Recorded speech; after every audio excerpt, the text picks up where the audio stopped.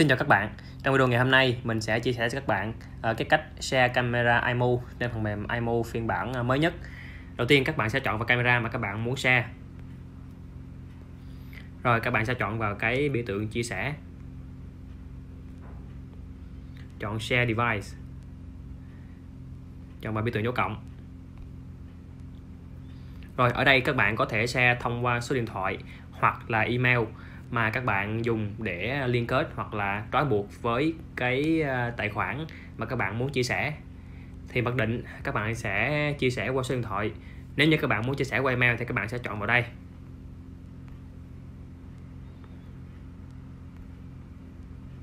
Rồi thì à, khi điền số điện thoại thì mặc định phần mềm đã à, bao gồm cái đuôi cộng 84 vì vậy khi điền số điện thoại vào đây các bạn sẽ bỏ số 0 đầu tiên đi.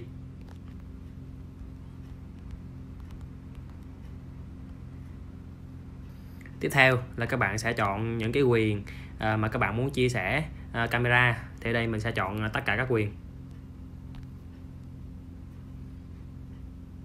Rồi um, bước tiếp theo thì các bạn sẽ đăng nhập vào cái tài khoản phụ kia để xác nhận cái sự chia sẻ. Rồi sau khi đăng nhập vào tài khoản này thì các bạn sẽ thấy một cái thông báo. Nó báo là tài khoản Mr. Thành của mình uh, muốn chia sẻ camera mu uh, cho bạn. Thì các bạn sẽ chọn đồng ý accept rồi sau đó các bạn sẽ load phần mềm một cái.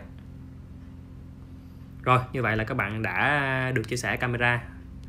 Cảm ơn các bạn đã theo dõi video. Xin chào và hẹn gặp lại.